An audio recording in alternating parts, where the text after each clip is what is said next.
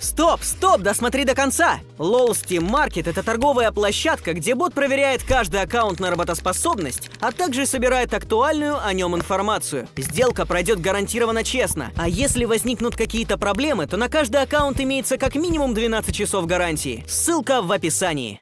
Смотри уже про Гитлера. Блядь! Так, ладно, я так понимаю, мне смотреть, и вы будете сравнивать это со мной, да, или что? Или как это должно работать? Я не просто не понимаю, зачем вы меня просите это посмотреть, э, для чего, для кого. Ну да ладно, ну да ладно, давай, хорошо, хорошо, хорошо. Молодой Гитлер, неудачник без образования. Похоже на меня, кстати.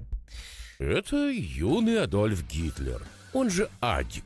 Кто-то скажет, что говорить о нем в 23-м году – баян. Но мы так не считаем. Сейчас вы узнаете о той части жизни Адика, о которой вряд ли слышали до этого. Привет. Привет. С вами Гео. Хорошо, Кто что не Гитлер. ест огурцы? Я, кстати, ем охуенная тема. Ну, вообще, я очень люблю огурцы. Причем я ничего не люблю, когда они порезанные, я люблю целые есть. А знаете, кто еще так делал? Блять, нет! Гитлер. Да сука! Да, е- да нет! Да не просто вкусные! Вы что, за Гитлера? Нет! Нет! Да нет! Это один из самых абсурдных примеров использования закона Годвина. Звучит он так. По мере разрастания дискуссий в интернете, вероятность сравнения чьей-то позиции с нацизмом или Гитлером стремится к единице. В смысле, рано или поздно любой срач сводится к Гитлеру. Ну да. Это неудивительно. Адольф Алаизыч в массовой культуре считается чуть ли не абсолютным злом, самым плохим человеком из всех, когда-либо живших на Земле. И надо сказать, вполне заслуженно. Вряд ли он сделал хоть что-то хорошее для цивилизации. Все мы знаем про развязывание Второй мировой войны, и про Холокост, и про зверство Так, руки нацистов опустите. на оккупированных территориях, но все это было уже Гитлер после лох, того, Гитлер как лох. Гитлер А чё, это- а типа так можно? Я не знал. Получил власть. Вот только есть вопрос, а как такой агрессивный фанатик вдруг завоевал невероятную... Это Гитлер с усами сейчас слева был? Только есть вопрос, а как такой Это Гитлер? агрессивный фанатик Ебать, усы уебищные. вдруг завоевал невероятную популярность в Германии? А он вроде, кстати, очень сильно любил усы. То есть прямо он, он, он их обожал. Он, и однажды он получил ранение какое-то, и ему пришлось изменить их, вроде как. Ведь изначально у него не было ни одного из составляющих успеха. Ни денег, ни влиятельных родственников, ни связей. Ничего. Даже удача долго отворачивалась от Гитлера. Было время, что он буквально бомжевал на улице. Ха-ха, бомж! Сегодня я предлагаю взглянуть на Гитлера Вот под лох. необычным углом. Рассмотреть период его жизни, когда он еще не был известным. Я не буду затрагивать времена, Не когда надо. Адик был вождем Германии, как строил диктатуру и прочее. Ну просто потому что это Сука, молчи! скучно. История Мол... Уроды в чате, молчите! Третьего рейха, Холокост, война, преступление нацизма. Это все плюс-минус известные сюжеты. Об этом уже сто раз все говорили. Куда интереснее то, какой путь Гитлер успел пройти, чтобы превратиться в такого злобного Да сука! Как обычный австрийский мальчик Адольф пытался найти свой путь в жизни. Получал вещей от бати, влюблялся, хотел стать художником, жил на улице, косил от Сука. армии и мечтал о возрождении великого германского народа.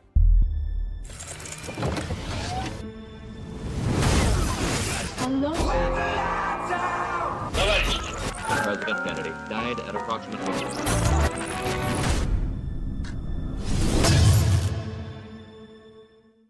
Итак, 1932 год. Германия. В стране скоро очередные выборы, а буквально все общество обсуждает громкий политический скандал. В Какой? швейцарской газете Neue Zürcher Zeitung вышла статья, где разбирали биографию модного популярного Это типа у них как Stream Inside, да? политика Адольфа Гитлера.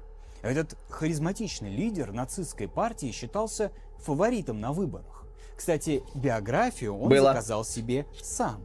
Гитлер обратился к ведущим специалистам, чтобы они составили ему Было, реальное было. генеалогическое древо со всеми предками, которых только можно найти. Сука, вот видите, я себе не придумываю предков. Вы мне придумываете. Так что я уже не Гитлер.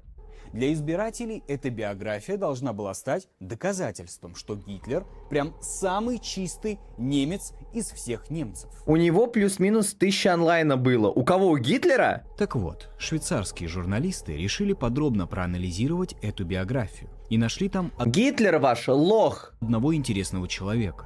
Кто у него папа был? Покажи. Покажи, кто его папа. Эту. Ха-ха, у него три папы. Смотри, раз папа, два папы, и где-то женщина. Ха-ха. И нашли там одного А это кто? Это Джарахов нахуй или шо? интересного человека. Некую австрийскую прапрабабушку по имени Катарина Соломон. Заканчивалась статья вот такой фразой. Это мать, она маленькая. Не в обычае Адольфа Гитлера и его приверженцев считать это имя исключительно немецким. Никакого вывода газета не делала. Но намек поняли все. Самый известный антисемит Европы Кстати, он больше похож на Гитлера на самом деле. – еврей. Так это что, правда что ли? Ну, на самом деле нет. Я люблю евреев. Какой прапрабабки еврейки у Гитлера не было. Имя Катарины Соломон вписали в родословную по ошибке. Но было уже поздно. Не, евреи пиздатые, они все придумали, они придумали Эйнштейна, они придумали вот, вот этот прикольный танец там, э, да, дохуя, дохуя. Миф оказался настолько живуч, что дотянул до наших дней. Даже сегодня Да, они Иисуса Христа придумали. Евреи могут быть плохими, если они Иисуса Христа придумали. Ну давайте, чисто по логике. есть немало тех, кто верит в еврейские корни фюрера. Ну а тогда, в 30 Да, но, но, но... Статые журналисты всей Центральной Европы бросились я сливаюсь. Не хочу вести диалог. бабушку Гитлера и удвоили свои усилия после того, как он стал канцлером. Но это был не единственный прикол с его предполагаемыми еврейскими корнями. Вообще фамилия Гитлер встречалась в разных народах. По сути, она переводится просто как «обитатель хижины». Я к тому, что семья Гитлеров встречалась и среди Опустите руки. немцев, Опустите руки. и среди евреев. Понятное дело, что родственниками они при этом не были. В советской армии во время Второй мировой медаль получил артиллерист Семен Гитлер. А в Чехии нашли Чего, блядь? Это то есть у кого-то дед реально мог быть Гитлером? Стоп! Это даже не шутка, реально чей-то дед Гитлер. равина Абрама Гитлера. Но То есть у евреев тоже был Гитлер? все эти люди были просто однофамильцами Адольфа. Но что мы знаем о реальном происхождении Гитлера? В целом, не так много.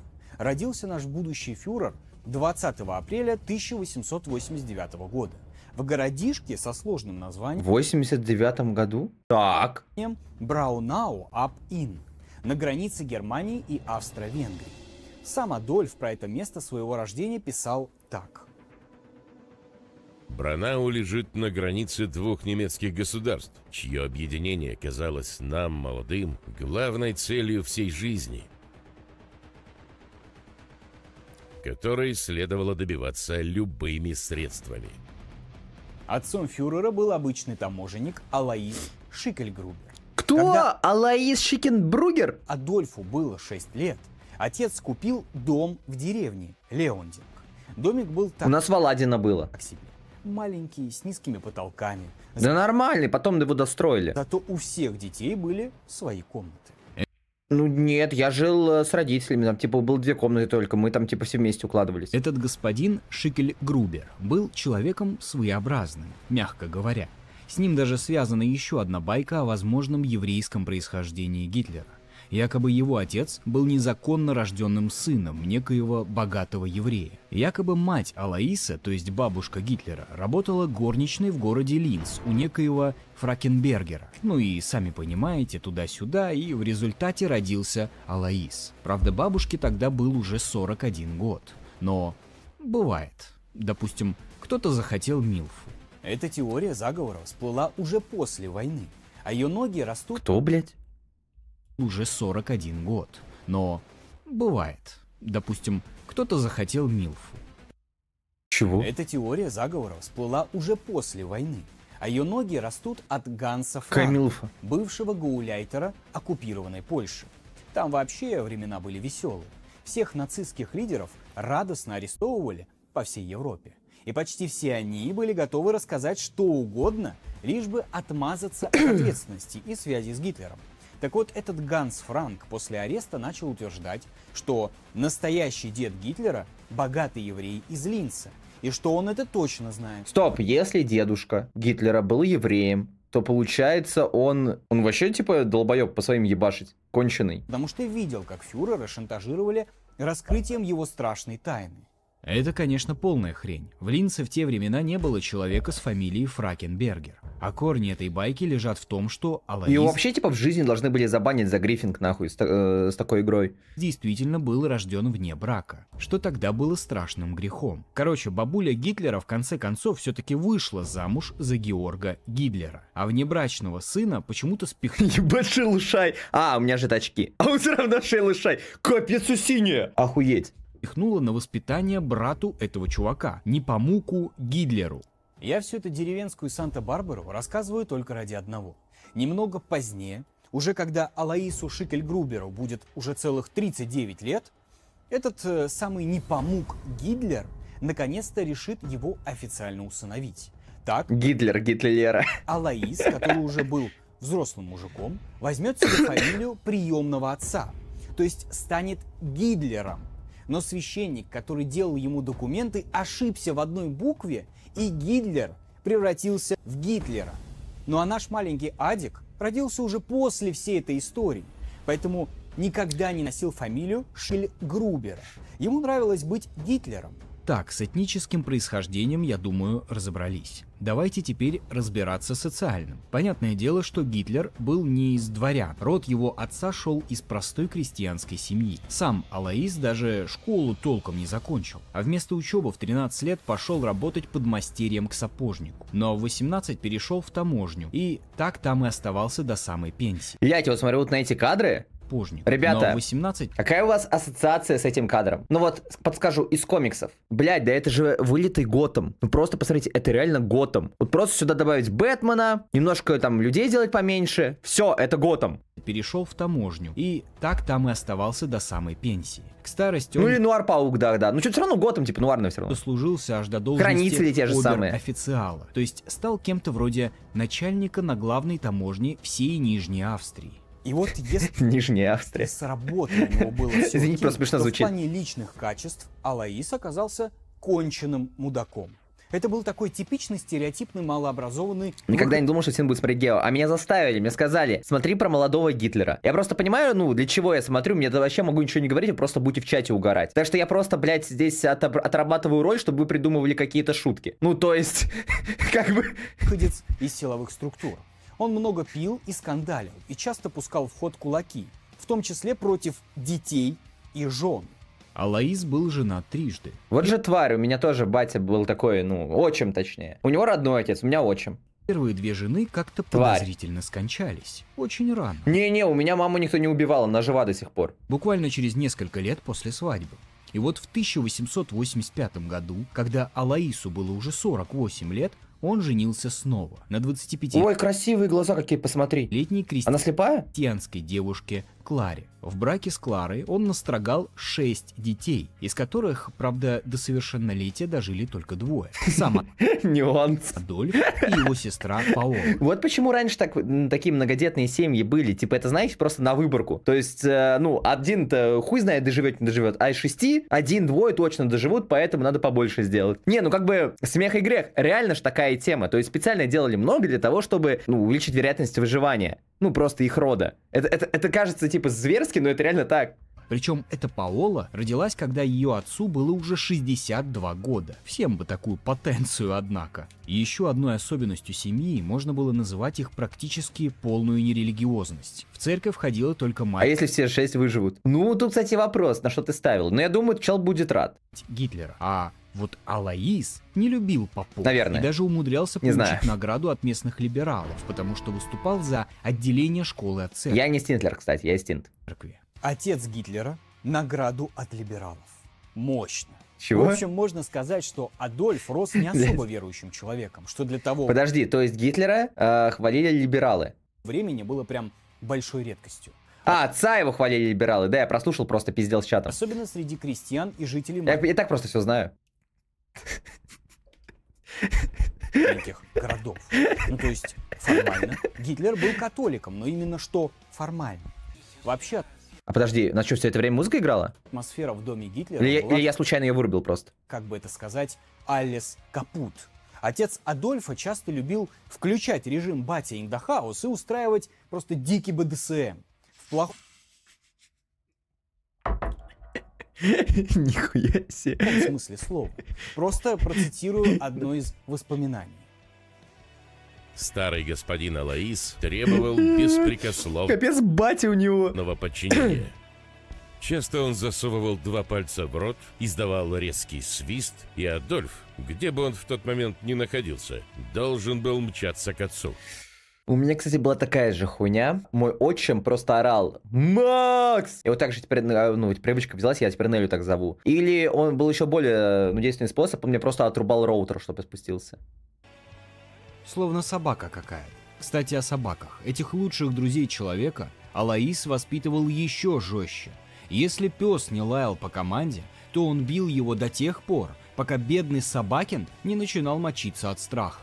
Нет, я так не делал, я так не делал. Я, у меня собаки, наоборот, пиздят, я их боюсь. Поэтому нет, нет, нет. Видите, я, я не похож на него. Все, кто знал семью Гитлеров, в один голос отмечали, что Алаис никогда не говорил жене ни одного теплого слова. Я даже, вы понимали, даже своих собак побаиваюсь немножко. То есть у меня страх все равно где-то остался в глубине, я все равно боюсь собак. Ну, прям немножко, но боюсь. Более того, он часто унижал и бил ее при детях. И наоборот. В смысле, бил детей при матери. Какой-то Ну, я момент... говорю, у меня в детстве просто дохера вот этих историй было неприятных, поэтому отсюда вот. В целом-то как бы похуй уже, но где-то в глубине я прям чувствую, что я побаиваюсь. После очередной ссоры из дома сбежал старший сын Алаиса от предыдущего брака. Ты боишься Хаю? Какого Хаю? Хай? Вот, кстати, Хая я не боюсь. По удивительному, вот прям, ну, возможно, капельку, когда он там бесяку, я боюсь, что он там укусит случайно из-за того, что играется. Вот Кнопу я боюсь, потому что это сломанная собака. Она может просто с нихуя начать кусаться. Типа начать, э, не знаю, там, резко прыгать на тебя, двигаться. При этом она может начать, там, не знаю, просто сидеть такая... вот Просто, я, допустим, что вы понимали? Минуту назад она сидела у меня на этих, э, ну, на животе, когда я смотрел фильм. Все, прошло время, иду ссать, она там сидит и просто мчится на меня, нахуй, типа, вау-вау-вау, и, блядь, дрифтует в другую сторону. Ну, а- это, это, это- ну, это сломанная собака, ребят. На что Ну, я, знаете, там у него, типа, у него мозг вот такой, типа, это чихуахуа. Чего, блядь, это чихуахуа, типа, просто вот, ну. то батя спокойно заметил, что фига эта благодарная сволочь от меня хоть что-то теперь получит, кроме причитающихся по закону алиментов. Адольфу в этом плане было попроще. Ну, в том смысле, что когда он родился, бате был уже 51 год, и ему на воспитание детей было положить с прибором. То есть, конечно, он бил и младшего сына, но без той страсти, с которой до этого бил старшего. В основном Алаис тратил время на хобби, жестко бухал и разводил пчел. А вот мама Гитлера в своем дорогом Адике души не чаяла. Поэтому его детство было похоже на контрастный душ. Невероятно жестокий и бессердечный отец и мать, которая готова удовлетворить любой твой каприз. Не, у меня по-другому было немного, поэтому нет, поэтому не, не похож. Еще вокруг маленького Гитлера было В смысле печально, что по-другому? очень много политики. Вот, например, когда Адольфу было 10, Он больше знаете, на кого похож? Он, с с ноздрёй такая же проблема, как у меня, кстати. У меня тоже, помните, ну, одна ноздря меньше, чем другая намного. Короче, не, не похож на меня. случилась англо-бурская война в далекой-далекой Южной Африке. Причем друг против друга там сражались европейцы, англичане и голландские поселенцы. И англичане в той войне творили, ну, в общем, всякое. Достаточно сказать, что именно в той войне впервые появились концлагеря для мирных жителей. У всех, кто не был англичанином, эти события вызывали возмущение. Типа, они тоже ходили в концлагерь или что? Даже у Франции и России, которые вообще-то были тогда союзниками Англии. Чего уж говорить про Австро-Венгрию, противницу Британии. Так что сами можете представить, какое инфопространство было у австрийцев. Сравни свои детские фотки с его. Так я эти детские фотки сейчас где найду? Ну скиньте мне, я правда, я их просто не найду. Я в ТГ буду сидеть долго лазать или в Инстаграме. Где-то Ну нет, я вообще не похож на него маленьким. Говорю, он больше похож, не знаю, там, на условного, ну, Илюху Мазелова похож, например. Ну, реально, прям вот э, глаза, вытянутое лицо. Ну, вот на Илюху Мазелова похож, на меня нет. в У меня на такое более широкое. Африке проклятые англосаксы геноцидят буров, которые голландцы. А значит, почти М. один народ с нами, немцами. Гитлер потом вспоминал, что их любимой игрой во дворе была игра в буров. И что никто из мальчиков не хотел играть Мы, кстати, знаете, во дворе что сделали? Мы играли, короче, в зах- захват территории. Э, какая игра была, сейчас я вам расскажу. В общем, тема была какая? Э, мы брали, вот, допустим, это ножик, брали ножик, вставали вот так. И делали огромный круг. Зачастую это все происходило на песке, либо на участке, где, по крайней мере, грязевая основа, то есть, ну, где можно хоть что-то порисовать. Мы рисовали круг и делили территорию. Потом ты должен был этим ножом, по очереди, опять же, шел ход, а, кинуть ножик в эту землю. И если он втыкался, получается, острой стороной, поздравляю, именно от этой точки ты можешь себе подрезать территорию. Понимаешь, да, о чем я говорю? Типа себе. А, как вы понимаете, я в ней был самый пиздатый. То есть я зачастую всегда попадал ножом и всегда забирал себе часть территории. И то есть там в конце чувак, чтобы, ну, э, он может продолжать игру, если может стоять на своей территории, там на носочке как-то, но если он уже не может не стоять, он вылетает, и ты забираешь остаток его территории. Вот это у нас было очень популярно в детстве, мы обожали эту игру. Она очень интересная на самом деле. за англичан. В Kampf есть абзац, где Гитлер пишет, что ненависть к англичанам у него появилась даже раньше, чем к евреям. Правда, ненависть ненавистью, но идею концлагерей он с удовольствием взял на вооружение. И, так сказать, творчески доработал.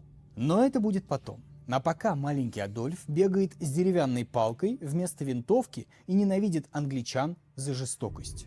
До 10 Сколько ты ног проткнул? Не, ну мы же отходили, то есть, ну типа, мы отходили, когда ножик кидался, естественно. То есть, э, потом люди вставали, мы же настолько уебщ, уебки. лет он учился в простой деревенской школе, а в 11 отец отправил его в элитное техническое училище в Линц, в столицу региона. Это реально была крутая школа. Там, например, в одно время с Гитлером учился будущий знаменитый философ Людвиг Витгенштейн. Учебное заведение было платным. И по Я, кстати, тоже учился в платной школе. Ну, до девятого класса учился, а нет, до восьмого учился в обычной, потом перешел в платную. Хорошему небогатая семья Гитлера не могла его себе позволить, но Адольф попал туда по блату, как сын заслуженного чиновника, и в своем классе он был чуть ли не единственным, кто учился бесплатно. Вместе с Гитлером в училище ходили 17 евреев, двое чехов, один православный боснийский серб. Впрочем, Гитлер потом признавался, что на евреев ему было в целом пофиг лет до 15. У него был даже приятель еврей. А вот славяне это совсем другое дело. 1900 год. Газета «Линцерф. Легенда Блеттер». Где вечер на центральной площади Я помню, мне Нелли сидела, мазала его. Они довольно громко говорят по-чешски и ходят туда-сюда сплоченными группами. Этим они хотят доказать, что уже завоевали центр Линца. Чертовы чехи, да что они себе позволяют? Австрия — это германская земля, а эти славяне, мать их, понаехали тут. Ты чё, охуел, мразь? На славян, блядь, пиздишь? Ну ничего. Воскресись, я тебя захвачу, тварь. Пустились со своих судетских и карпатских гор, Славяне! шляются по городу, Славяне! пристают к нашим женщинам. Да, блядь, ваших женщин? Ты чё, охуел? Еще и Они уже не ваши, они наши. требуют, чтобы их обслуживали на их тупом языке. Выселить их всех чертям. Видишь славянскую рожу, сразу бей.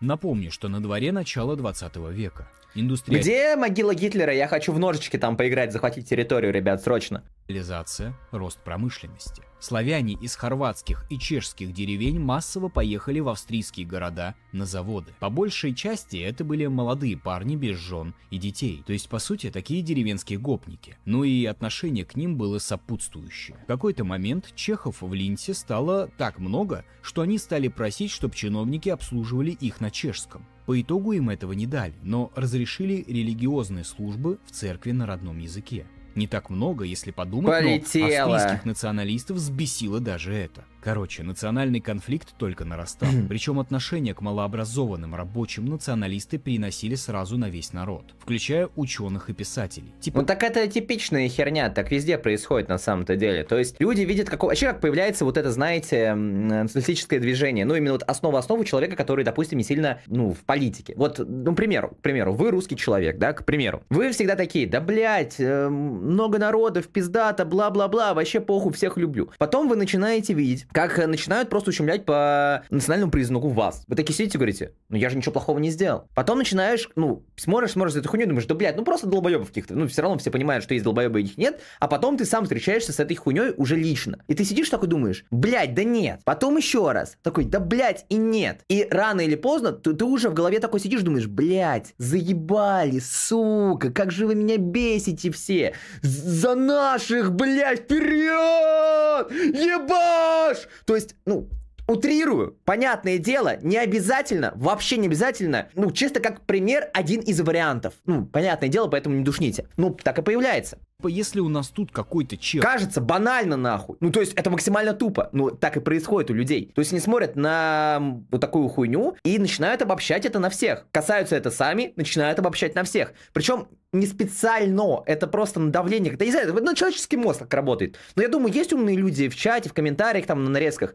Вы поясните там людям, не знающих, которые хотят углубиться в эту тему, они вам получше расскажут, чем я. Я все-таки быдло в очках, и у меня вообще мир теплый нахуй. Чех, мигрант, с двумя классами образования подрался в баре, значит все чехи такие. И когда в Линц приехал знаменитый скрипач Ян Кубелик, то националисты сорвали его концерт. Подросток Гитлер тоже не оставался в стороне и регулярно участвовал в драках со славянами. Вообще он уже тогда начал топить за идеей, что надо всех этих понаехавших собрать вместе и выслать куда-нибудь подальше. Его одноклассник вспоминал, что однажды пришел в школу и перед входом в класс увидел Адольфа, который чисто по внешним признакам пытался разделить учеников на арийцев и неарийцев. То есть Так, это не связано с тем, когда я разделяю алдов и новичков, что алды должны обучать новичков. Это нахуй не смейте сравнять, сравнивать. Не смейте. Это другое. То есть, давайте просуммируем. В какой политической обстановке рос Гитлер? Первое. Главный внешний враг – это Англия, которая спит и видит, как бы навредить великому германскому народу. Второе. Главный внутренний враг – славяне. Причем славяне эти были точно такими же гражданами Австро-Венгрии, как и сам Гитлер. Но это не мешало ему считать их гастарбайтерами в своей же стране. Но это еще не все. Давайте вспомним, что все это время я говорил про Австрию. Гитлер родился в Австрии, учился в Австрии, но потом каким-то образом стал руководителем Германии. Как так получилось? Корни этого тоже лежат в детстве фюрера. Его родная руку. Австро-Венгрия была в довольно странном положении. С одной стороны, она входила в политический и военный союз с Германией, а с другой старалась от этой Германии всячески отдалиться. Почему? Потому что австрийские националисты как бы не были австрийскими националистами. Они были немецкими националистами. То есть считали, что австрийцы и немцы — это единый неделимый народ. Согласитесь, что власти Австро-Венгрии оказались Так, так это вообще про что угодно, кстати, можно говорить. Ну, типа, ладно, я не проводить... Есть такой охуенный пример, но я приводить его не буду. Но, в принципе, типа, да. в довольно трудном положении. Когда часть населения твоей страны считает себя патриотом соседней страны. Это как если бы, ну, не знаю, существовали бы какие-нибудь бельгийские националисты, которые топили бы за то, что Бельгия — это не настоящая страна, и что ей надо немедленно воссоединиться с братской Францией. Я вообще, кстати, сегодня с утра проснулся и понял, что я за македонскую, э, за македонскую империю. Все, типа, я отныне позиционирую себя как македонец. Все, если что, если кому интересно, я македонец. Вот примерно то же самое происходило тогда с Австро-Венгрией. Националисты с раздражением и сарказмом смотрели на попытки власти построить какую-то свою австрийскую идентичность. Открыто выступали за слияние с Германией и утверждали, что Австрия — это фейковое государство. То есть Австрия фейковое государство, его не существует, ребят, на самом деле это Германия, это фейк. Так границы, границы придумали, сука, мрази, ее не существует, просто заходите и живите там, говорите на немецком. Суйте куда хотите немецкую колбаску, ребята, Австрия это фейк, ее нет. националисты здесь — это не опора режима. Наоборот, это оппозиция и опасные экстремисты. И вот Гитлер еще со школы был таким вот оппозиционером. Эту идею в голову юному Адику заложил учитель Леопольд Пёдж, который Пудж, блядь. Ой, ой, блядь. А это, кстати, нихуя не смешно, знаете почему? Сука! Зато у меня ножик есть. И не один, смотрите. Вот ножик, вот ножик, вот ножик. Три ножа. который преподавал географию А у Гитлера есть ножи? А? А я могу вообще на любой карте их использовать. Я люблю ножи. и историю. Он реально был любимым преподавателем Гитлера. Тот радостно носил за ним карты, помогал устанавливать проектор на уроках и вообще чуть ли не в рот ему смотрел. Гарри Леопольд был не только учителем, но и депутатом городского совета, поэтому свои политические идеи продвигал не только на собраниях совета, но и прямо в школе. А идеи там были в целом просты. Немцы – самые лучшие люди на планете, а все остальные им завидуют. Причем Петр эту шизу умудрялся использовать Так стоп, то же самое же делает наше правительство. Да и прав- любое другое правительство, кстати говоря. как педагогический прием. Если пацаны в классе шумели, он им говорил, вы чего? То есть, получается, любое правительство, любой президент — это Гитлер? Вы же немцы, высшая раса. Ведите себя достойно. И это работало.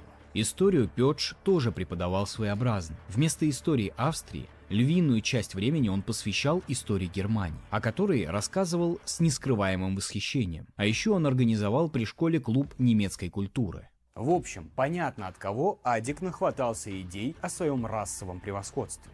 Но прикол в том, что сам Леопольд Петш при этом считал себя патриотом Австрии. И когда через много-много лет Гитлер встал во главе Германии и присоединил к себе Австрию, то Петш дал интервью в духе «Знаете, я вообще-то Гитлера учил не этому». После чего фюрер отобрал у старого учителя все награды. Ну, хоть в лагерь не посадил. И на том спасибо. Были у Гитлера и другие преподаватели. Например, учитель закона Божьего Шварц. Его Адольф Не- дико Ой же ты мудак, Максим, иногда надо закрыть ебало, долбоеб, просто закрыть его. Фух, Вы ничего не слышали, дорогие друзья, я люблю всех там, аж особенно Шварценеггера. ненавидел. Во-первых, потому что сам он не был особо верующим и терпеть не мог тратить время на изучение какой-то фигни. А во-вторых, Шварц был монархистом и открыто поддерживал Австро-Венгрию. На уроках он говорил что-то вроде «Вы прежде всего подданные императора, поэтому все немецкое должно в вас умереть». Класс Гитлера должен был участвовать в торжественной встрече императора Франца Иосифа, когда тот проезжал через Линц. И Шварц бегал между учениками и следил, что при приближении его величества все кричали только традиционное австрийское приветствие – «Хох». Это Подожди, стоп, стоп, секунду, они хох орут? Типа как, типа как Гойда? Это что-то типа «слава». И чтобы ни одна сволочь, пан-германская, не вздумала вдруг крикнуть «Хайль», как кричали кайзеру Германии. Гитлер писал, что он оказался самым Хох. смелым и таки крикнул «Хайль», за что получил от учителя леща. Хай?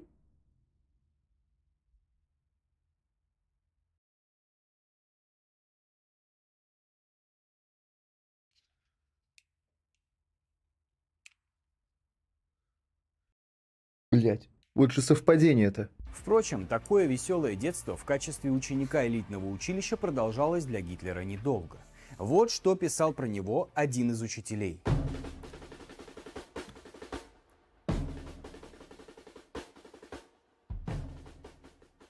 У Адольфа определенно были способности. Хотя и несколько односторонние. Но он не умел контролировать себя, и его считали строптивым, упрямым, нетерпящим возражений, вспыльчивым. Ему было трудно привыкнуть к школьным порядкам. Блять. В общем, Представьте, как долго они собирали этот пазл, чтобы его так быстро разъебать. на втором курсе Гитлер получил итоговые двойки по математике и биологии А у меня математика была хорошая, кстати. и остался на второй год. Не помогло. Оценки стали еще хуже. Я не оставался никогда на второй год. Так что в 13 лет Адика выкинули из реального училища. Тогда мама подсуетилась и смогла пристроить любимого сына в училище города Штайр. Не такое крутое, как в Линсе, но тоже ничего. Правда, там Адольф тоже долго не задержался. Получил двойки сразу по трем предметам, включая немецкий Че в чате все сигут, это норм. Нихуя не норм, они конченые долбоебы, потому что. язык. И снова оказался на улице. В своих провалах Гитлер будет обвинять учителя немецкого, мол, это он, зараза такая, не смог привить ему любовь к учебе. Этот идиот, профессор, внушил мне отвращение к немецкому языку. Этот дилетант, этот коротышка. Я больше никогда не смогу правильно написать ни одного письма. Только представьте, этот дурак поставил мне двойку, и мне никогда не стать техником. После фиаско с получением хорошего образования отец Гитлера То есть он был безграмотный? сделать сына чиновником на таможне, как и он сам. Адольф пришел к отцу на работу, посмотрел и что-то как-то не впечатлился. Мрачные Ха-ха, пиздец, у Гитлера были все виноваты, кроме него. Ну да, типа.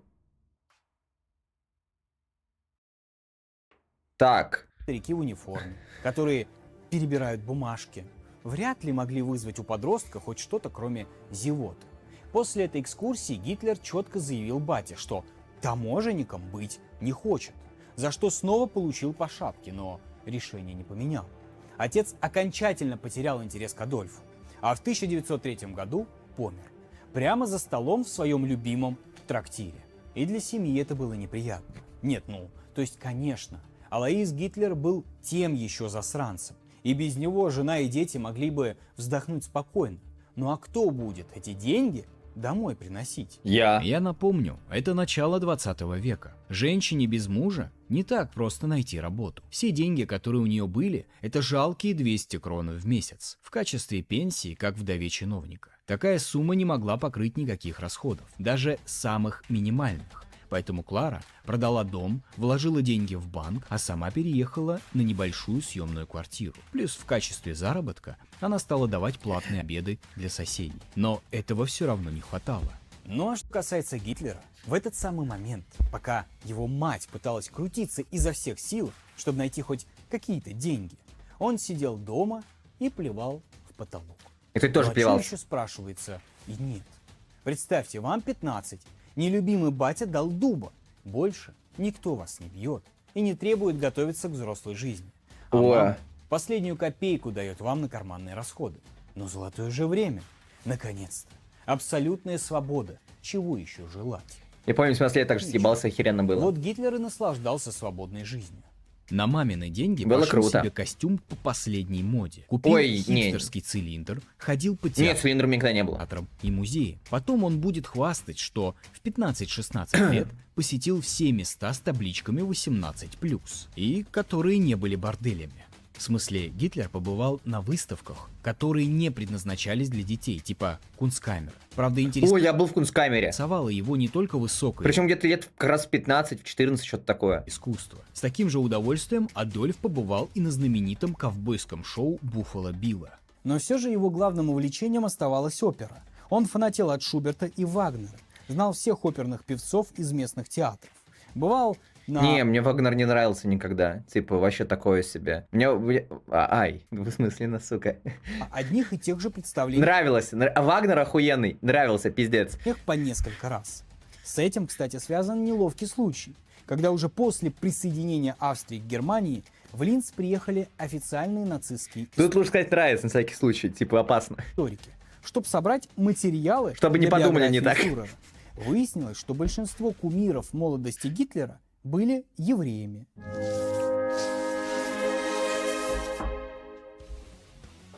Адольф Гитлер родился в Бранау-на-Инне 20 апреля 1889 года. Я также рисовал, кстати. Национальность немец. Прям очень плохо. Религия католичество. Сословие сын чиновника. Экзамен по рисунку не удовлетворительно. Я причем деревья точно так же, как он рисовал. Вот так, типа, вверх-вниз и палочками. Только к 17 годам Гитлер наконец-то понял, чем хочет заниматься в жизни. Он решил стать художником. Но на самом деле это неудивительное желание, учитывая, что юный Адольф вел Не, я рисовал всегда плохо, прям очень плохо. богемный Вот как сейчас Гитлера показал, вот прям так же я рисовал. образ жизни. И вот теперь надо было закрепить этот статус официальным образованием Академии художеств в Вене. Гитлер и правду к тому времени научился неплохо рисовать, но в основном пейзажи. Люди у него получались хреново. Но в любом случае, какой-никакой талант Чел, подвинься, пожалуйста, реальный экран загораживаешь, мешаешь смотреть, брат. Был. И вот он собрал чемоданы и отправился в столицу. Правда, перед этим надо было еще успеть попрощаться с любимой. Подожди, Гел, с какой еще любимой? Мы же ничего о ней не знаем. Но ничего страшного. Она тоже ничего об этом не знала. В смысле, Гитлер влюбился в белокурую красавицу Штефани Рабетш. Ну, в очках она ни- ничего. Без очков вообще херня. И за все время ни разу с ней не заговорил. Он просто сталкерил за ней по городским паркам Не, я такой херней никогда не В занимался. своей голове он успел построить образ их счастливой совместной жизни, но как-то не подумал предупредить об этом саму девушку.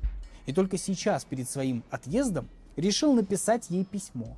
Причем в таком стиле, будто у них отношения уже не один год. Там Гитлер рассказал, что отправляется учиться на художника, а Штефани должна все это время его ждать. Потому что когда он вернется, Чего? они обязательно поженятся. Ля, Дев- какой-то Гитлер, прям, знаете, у него этот э, маленький ребенок, капризный, сука, внутри. Девушка была в шоке. Короче, 1906 год. Наш герой-любовник садится Я ходил на фильм «Нюнберг», и там сказали, что Гитлер имел нетрадиционные сексуальные предпочтения. Понял. На поезд и прибывает в столицу империи Вену. Там он с трудом снимает квартиру. Восемь квартир в подъезде. Внизу А я думал, Нюнберг оценивает только треки Мазелова, типа, блять, оказывается, это еще фильм какой-то. один кран на всех, откуда нужно самостоятельно таскать воду в ведре. Туалет один на этаж. Клопы. Помыться? Иди в баню через дорогу. Кажется, что какая-то жуть, но по меркам начала 20 века условия были неплохими.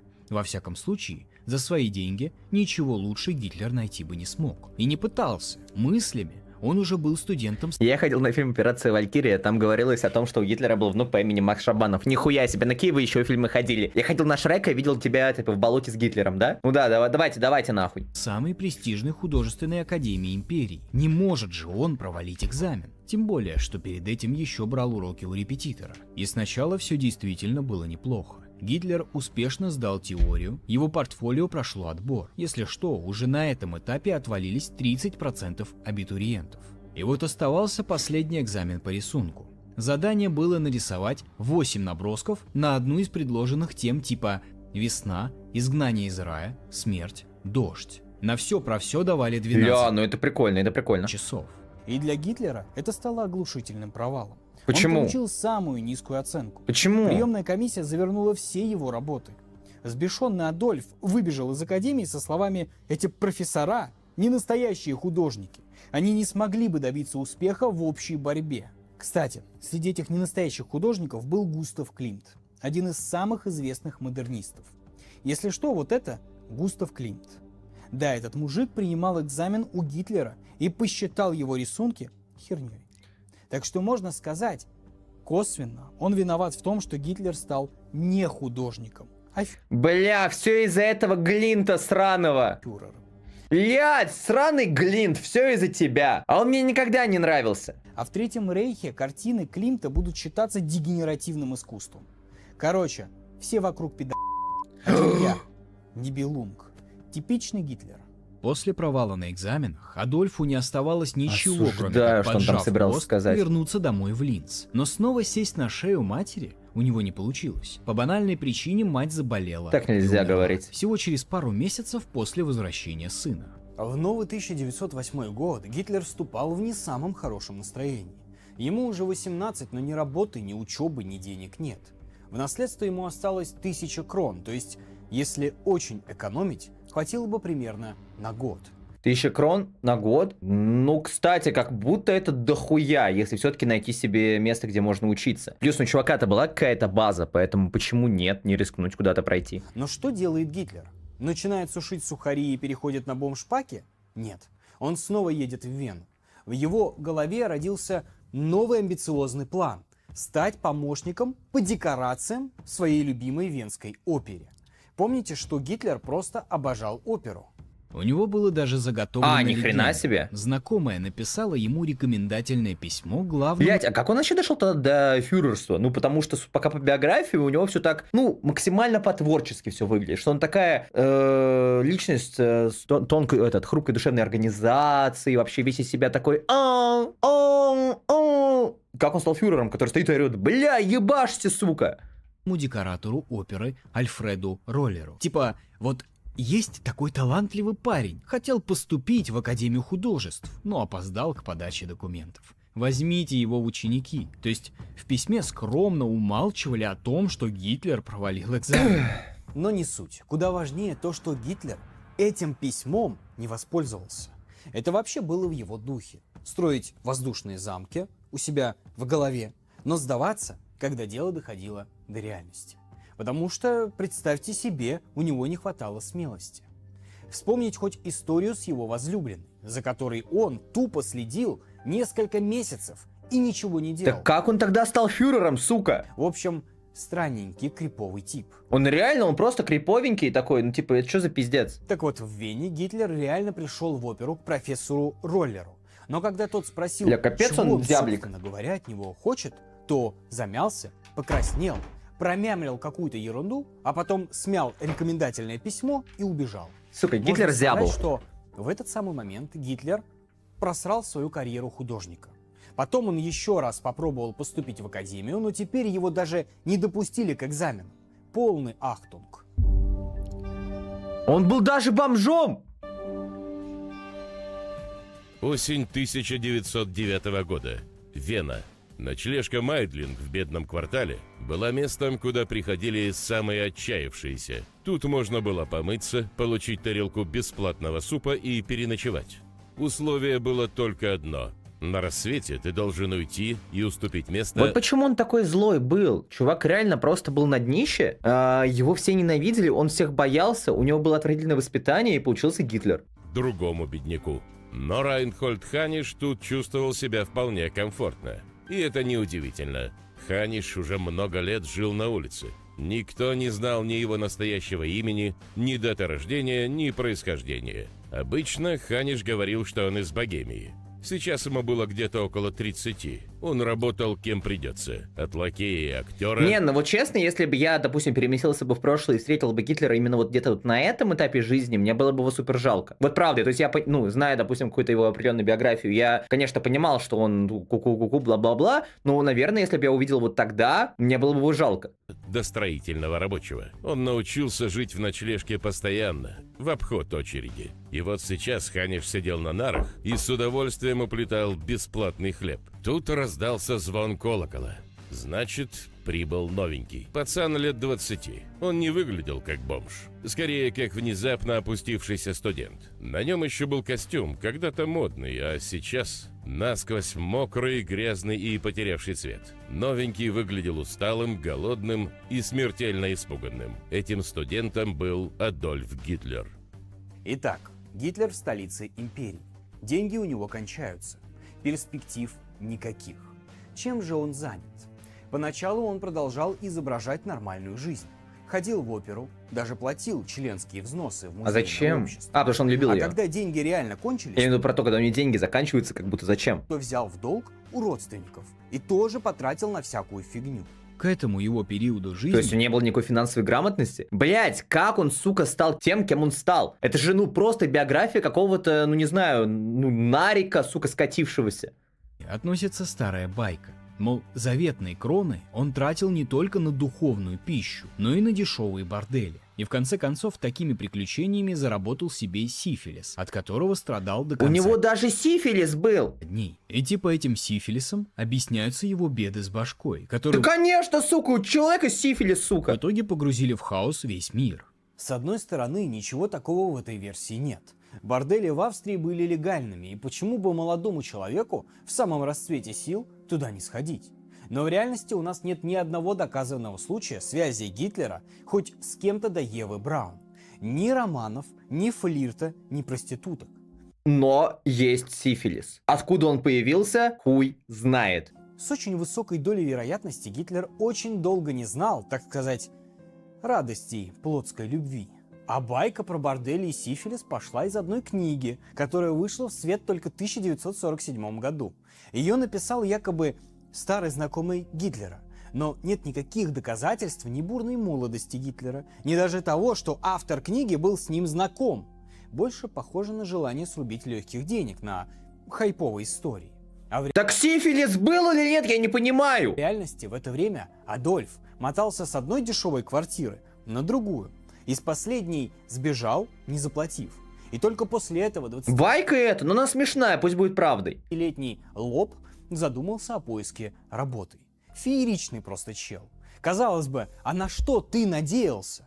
Что все как-то само собой рассосется и деньги появятся из воздуха, как у инфо-цыган? На это Гитлер отвечал так.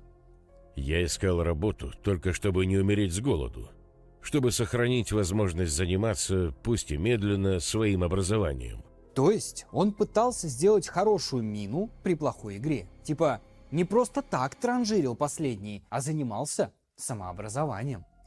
И я хожу по борделям, ну, опять байка, но все равно, типа, представим, что это правда. Я хожу по борделям для самообразования, чтобы это в будущем мне помогло. Я в оперы хожу для самообразования, чтобы в будущем я мог, ну, не знаю, сказать, что видел вот, это, вот, вот, вот эту опе- оперу.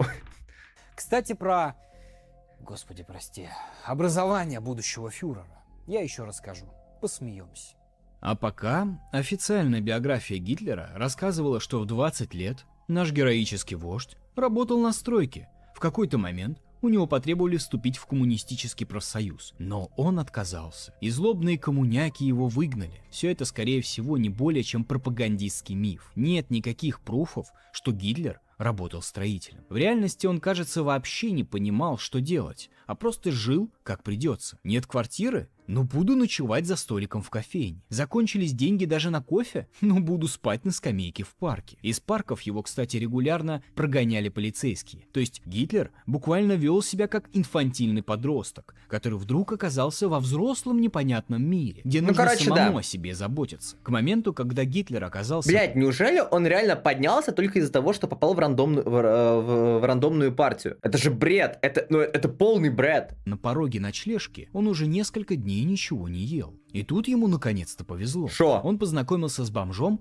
Райнхальдом Ханишем, который пожалел парня, взял его под крыло и начал учить его выживанию в условиях городских джунглей. Ханиш научил Гитлера одной мудрости. Если знать, где искать, то работу можно найти всегда, если ты не брезгливый и сильный. Ауф.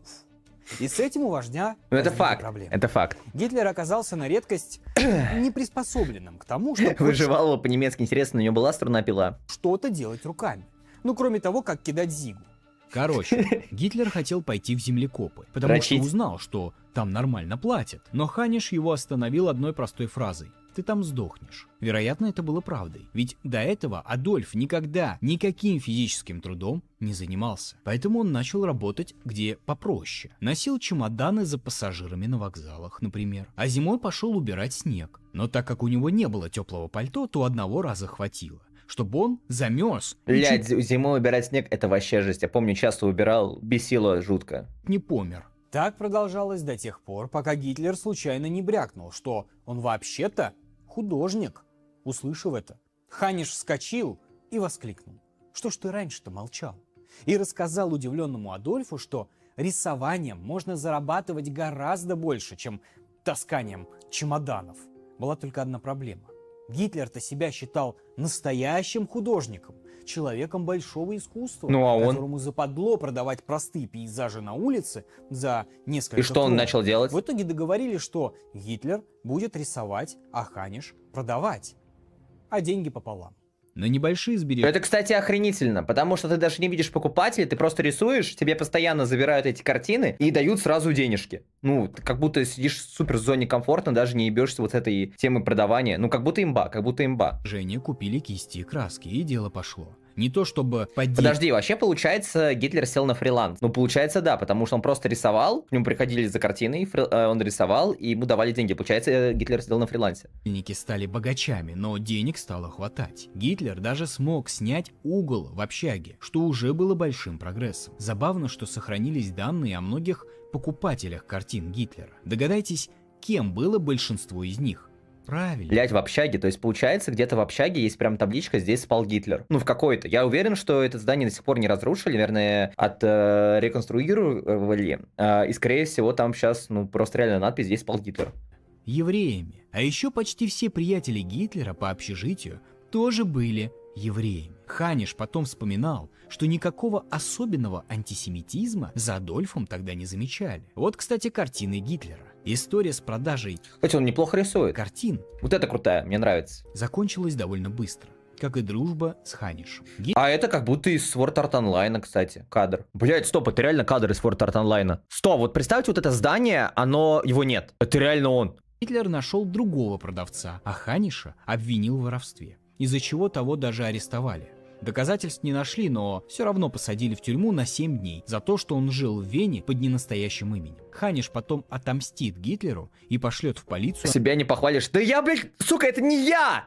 анонимную жалобу на то, что Гитлер незаконно называет себя академическим художником. Прям в разборке двух базарных бабок. В любом случае, Осуждаю нахуй, период жизни Гитлера подходил к концу. В 1912 году он начал всерьез бояться, что его призовут в армию. Точнее, он уже давно был призывного возраста. Но тут в Австрии провели военную реформу, и уклонистов стали ловить активнее. А Гитлер в армию очень не хотел. Можно подумать, какая ж крыса. Я тоже не хочу в армию. Миллионы людей потом будет отправлять на смерть, а сам откосил от службы. Но не все так просто. Гитлер не хотел именно в австрийскую армию, потому что в целом презирал эту страну. Ведь она якобы не давала раскрыть ему Я, я в любую армию не хочу. Свои способности. Здесь только и знают, что душить таланты из зависти и бюрократизма. Стоит появиться новому таланту, как австрийская административная плесень тут же его задушит. Одаренному человеку в Австрии чинят препятствия, вгоняют в Ни хрена. Что, только носки сняли? нужду. Под одаренным человеком Гитлер, конечно же, имел в виду себя любимого. Поэтому в 1913 году он решает променять нелюбимую родную Австрию на обожаемую Германию. Тем более он как раз получил небольшое наследство, которое он почти все целиком потратил на приведение себя в порядок. Ну там, помыться, подстричься, купить новую одежду. В итоге из Вены уезжал не Знаете, кто еще так делал? А, это, ну, блядь, да. Вот первый раз эта шутка как будто вообще не к месту. То полубог, есть даже это даже не шутка. в старом рванье, а одетый по последней моде сын чиновника. Гитлер приехал в Мюнхен, но не знаю, на что он рассчитывал, если честно. Если он в Австрии не приобрел никаких полезных навыков, то с чего вдруг в Германии у него должна была начаться какая-то другая жизнь? Там история, в общем-то, повторилась. В смысле, деньги закончились, нормальной работы он не нашел и снова стал рисовать картины и вывески на заказ. Противник рабочих. Даже Гитлер ненавидел работяг. Февраль 1908 года. Гитлер шел по Рингштрассе, центральной улице Вены, которая выходила к Ты парламенту. же музыкант, верно? Я знаю очень интересную компанию, которая тоже зовется музыкантами. Можешь войдешь... с- Так, нет. Внезапно послышались крики и топот тысяч ног. Это шла рабочая демонстрация. Впереди толпы несколько Ха-ха, смотри. человек несли огромный во всю ширину улицы транспарант с единственным словом – голод. А дальше А, не смешно тогда. реяли красные флаги. Крики становились все громче. Вздымались кулаки. Первые ряды демонстрантов уже подошли к парламенту и пошли на штурм. Конные Они прям так шли? Полицейские выхватили сабли и начали рубить митингующих. В ответ полетели камни. Начался бой, но в конце концов протестующих разогнали. Кто руководит этими несчастными? Адольф Гитлер? Все не те, кто сам испытал беды маленького человека, а честолюбивые, рвущиеся к власти, далекие от народа политики, которые обогащаются за счет несчастья масс. Важный факт. Адик не любил рабочих, и особенно левое рабочее движение. Он их ненавидел и презирал ненавистью ученика элитной гимназии к гопникам с района. Даже когда Гитлер сам оказался за чертой бедности, то все равно не проникся печальной судьбой рабочих. Скорее наоборот, он их еще больше возненавидел. Что если подумать логично? Ну вообще нихуя. Я что-то не могу представить, почему он еще больше их возненавидел.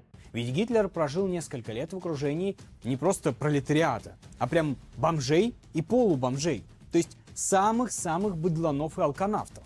Гитлер А, он такой типа, ну они быдло, поэтому я их ненавижу, потому что я увидел их еще ближе. Да не, как будто нет, как будто нет. Он наоборот должен понять, увидеть всю ситуацию, из-за чего они такими стали, и наоборот сказать, блядь, это, видимо, ситуация в стране херовая. Да, блядь, у Гитлера в целом какое-то извращенное было э, понимание мира, прям максимально, поэтому я не удивлен, что он именно возненавидел их. Я бы, допустим, наоборот, увидев такую херню, я бы, наверное, э, сказал, такой, типа, блядь, ну я понимаю, почему, бла-бла-бла, ну то есть, э, он меня просто извращ... он сам, типа, типа, ебанутый просто. считал, что рабочие — это апатичная масса, что их интересует только еда, бухло и женщины.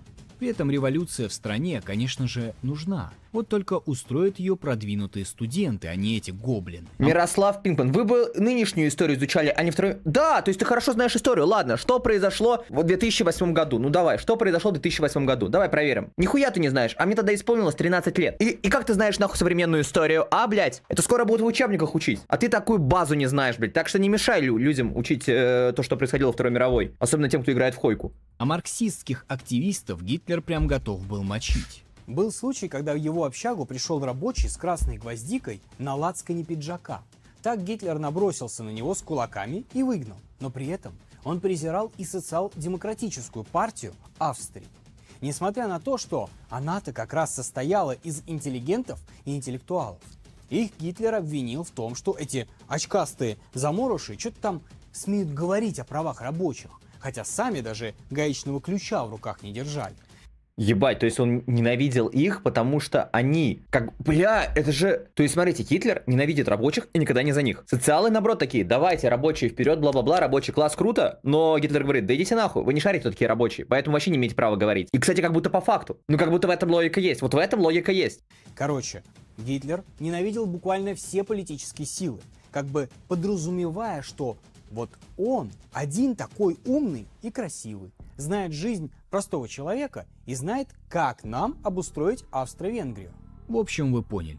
Гитлер не просто ведет богемный образ жизни, не просто рисует всякую херню в ночлежках для бомжей, но и активно интересуется политикой. Адольф неоднократно бывает на заседаниях парламента, которые тогда были открытыми и куда свободно... Кстати, реально, у Гитлера есть такая хер- херня, синдром восьмиклассника, это прям факт. Вот, то есть, честно говоря, вот если перевести какого-нибудь персонажа из Исекая аниме, который там, не знаю, ходит такой, бля, я крутой, я неповторимый, бла-бла-бла. Вот этот, помните, сейчас выходит анимешка, да еще на самом деле в начале этого года, «Превосходство в тени» или как так называется. Вот правда, поставь туда место главного героя Гитлера, одна и та же хуйня будет, ну если честно. Но продавались билеты. Читают всякую политическую и философскую литературу.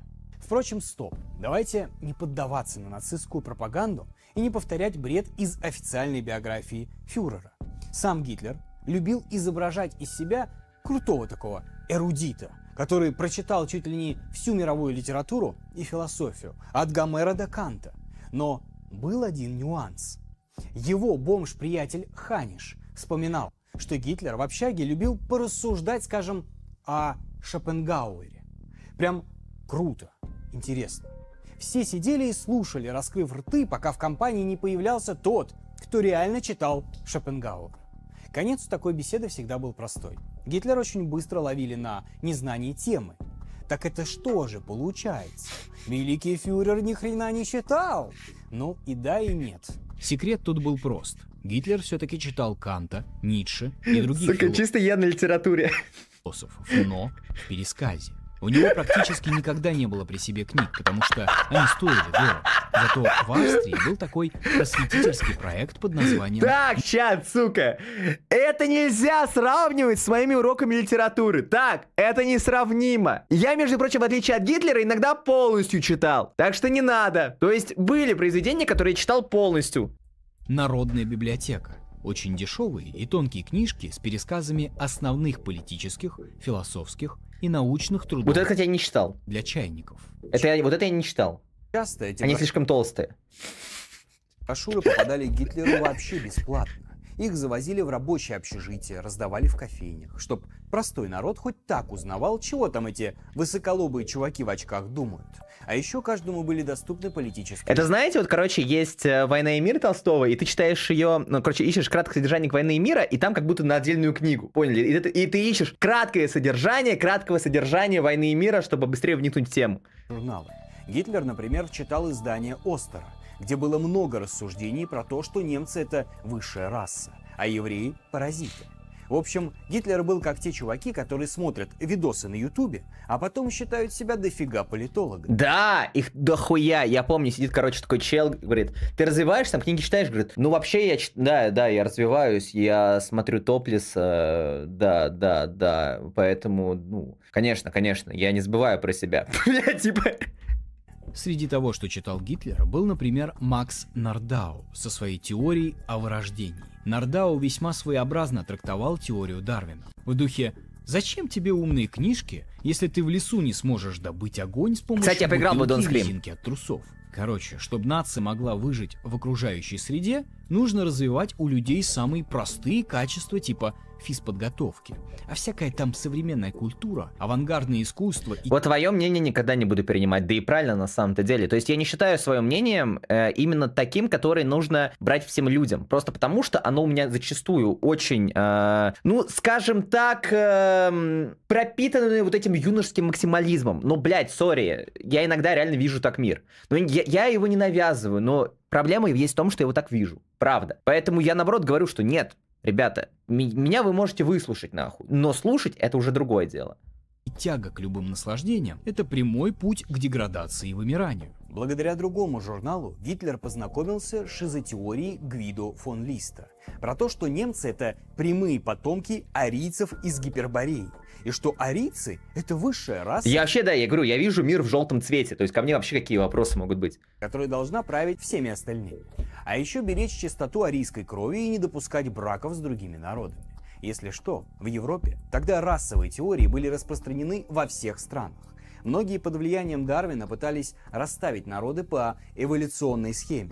Но даже на этом фоне байки про арийцев с гипербореей звучали как бред сумасшедшего. Кстати, если вы хоть когда-то смотрели или читали эзотериков, то 100% слышали про эру Водолея. Типа развитие Земли идет Сука, опять все из-за водолея в странах. эволюционным путем, а путем катастроф. Ну Вот и что вы хотите это водолея? Водолеи вообще ёбнутые все. Были когда-то динозавры, потом прилетел метеорит. Ну, водолеи! динозавров. Была Типичные такая водолеи. великая гиперборея. Потом Спасибо за тоже рейд. бабах и закончилась Ну водолеи, бывает. Автором этой теории во Водолей. является Ганс Хербигер, немецкий специалист по холодильникам. Его последователи каким-то магическим образом подсчитали, что смена эпох на Земле происходит каждые 2100 лет, и что сейчас у нас эра рыб. Страшное время торжества капитализма, Ой, а я родился в год свиньи. Или это не связано? Ну я, короче, в год свиньи родился. либерализма и западных стран. Но в 1950 году наступит благословенная эра Водолея, когда начнется прекрасный новый мировой Твой знак зодиака, я телец. Я телец, который родился в год, э, в год э, свиньи. То есть, по факту, я, ну, если чисто там вот такие там астрономические приколы, соответственно, я фул земля. Я прям земляной чувачок. То есть, yours порядок. spirit. Ну, Кстати, у меня игры почти по тысяче на your spirit, если что. Гитлер все это читал, усваивал, а потом легко перенес на себя. Типа, он и есть тот самый новый мировой порядок, с которым стартанет путь в лучший мир. Это я просто накидал несколько примеров того, из какой фигни состояла каша в голове будущего фюрера. Конспирологические журналы, книжки по философии для чайников, псевдонаучные теории. Блять, можешь подвинуться, реально нихуя не видно, там Гитлера показывают. И все это накладывалось на не менее долбанутую реальность. Австро-Венгрия была, прямо скажем, специфической страной. Немцев там было что-то около трети, а остальное население составляли чехи, словаки, поляки, венгры, хорваты, украинцы и еще десяток разных народов. То есть, э, оу. У империи не было одного государственного языка. Даже на деньгах надписи дублировали на восьми языках, включая идиш. В армии каждый полк тоже говорил на своем языке, что крайне затрудняло управление. А парламент был, так сказать, страной в миниатюре. Там постоянно творился какой-то балаган. Не, ну должен быть один официальный язык, который, ну, ну, потому что когда в армии, сука, все общаются на разных языках, это как будто пиздец полный. Вот это Вообще, мне кажется, честно говоря, годика через 5 или, может быть, даже побольше появится наконец-таки устройство, но я все-таки думаю, что это будет э, именно больше в разделе AR. Ну, то есть сейчас, ну, немножко такой офтопчик, есть Apple Vision Pro. Очевидно, это не самый лучший вариант для людей, которые хотят себе как-то упростить жизнь и добавить доп. реальностью. Сейчас есть Quest 3, который уже всех удивляет, и он стоит там 1050 рублей. Это тоже дохуя, ну давайте честно, учитывая, ну, сравнивая с допустим, технологией Apple, это, блядь, небо и земля, это хотя бы можно потрогать. Так вот, у меня есть теория, что лет через 5-6 у нас действительно будут просто вот эти вот очки, вот такие же ты их одеваешь, вот так себе, и у тебя сразу здесь, допустим, микронаушник, который моментально переводит тебе лю- любой язык, там, допустим, человек сидит, говорит на испанском, и тебе просто в дубляжом вот так сразу э, через этот, через костный э, передается просто по звукам таким, его перевод в реал-тайме. И все, халява. И скорее всего, да, ближе к этому времени, ну, блядь, через 5 лет это, наверное, будет, это уже будет, но это, скорее всего, будет стоить дохуя. Лет через 10 это, скорее всего, уже будет доступно именно в таком дешевом варианте. Но когда точно, потому что это же мои ну, просто догадки, прогнозы, которые основаны просто на рандомных числах, я хуй знает. приносили с собой буделки и трещотки, словно на футбольный матч, чтобы заглушить выступление политических противников. Хотя фиг с ним с трещотками. Нередко депутаты на собраниях полили из револьверов. Это люди так вот сто лет назад думали, что сейчас машины летать будут. Ну давай честно, сто лет назад у людей только машина была. А сейчас уже есть технология, понимаешь, брат? Вопрос сейчас только в том, как сделать ее более компактной. Ну, то есть, э, вопрос несколько по-другому стоит, брат. Обычно воздух. Но если страсти слишком накалялись, то устраивали дуэли прямо у стен парламента.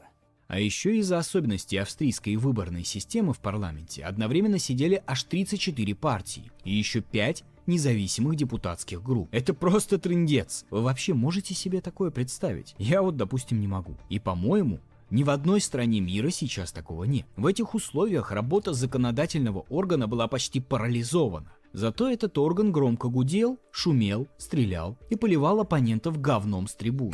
Весь этот трэш с бал- Бля, я так же могу, кстати говоря. балкона наблюдал юный Адольф Гитлер. Неудивительно, что в его голове возникла мысль, что парламентская форма правления – это фигня какая-то.